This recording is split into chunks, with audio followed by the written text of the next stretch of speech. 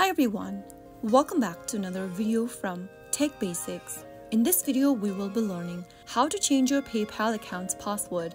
To change your PayPal account's password, it is not possible to do it within the PayPal application for your mobile device, so you'll need to visit the official website for PayPal.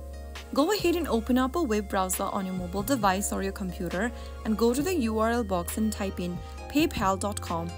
Go ahead and sign into your PayPal account on your web browser like you normally do. And after signing into paypal.com on a web browser, go ahead and tap on the menu icon at the top left corner from the home section. Now you will be able to see this pop-up menu where you'll need to tap on the little gear icon at the top right. Now, go to the top of the screen and tap on Security. Inside the Security tab, tap on Password. Click on the Next button and then you will receive a verification code on your email inbox. Simply type in the code that you received. I'm just going to quickly check in the code first. Once you find the code, simply copy it down and paste it in inside your PayPal text box and click on Submit. Once you do that, you will be able to get to the next page where you can change your password. In the first text box, type in your current PayPal password.